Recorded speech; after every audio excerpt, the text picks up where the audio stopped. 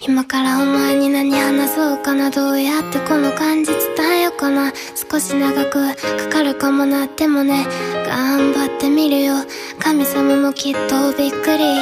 人ってお前みたいにできてない。今世紀最大の突然変異。ってくらいに思うは美しい。そんな前の父ちゃんと母ちゃんの心と心くっつきそうなほど近くにいた二つの思いと思いがちぼけな時間なんてものを乗せにしてはも合わせずも二度と聞こえないただいまそんな二人をま見つめる。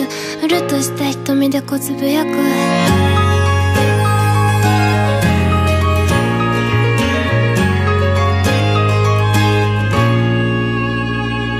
私の命二人の愛の証そこには一つだって嘘はない。そうでしょう。